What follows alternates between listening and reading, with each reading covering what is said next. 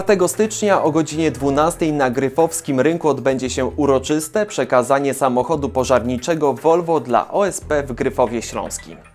To bardzo ważny zakup dla tamtejszej jednostki. Na relację z tego wydarzenia na naszej antenie zapraszamy 7 stycznia.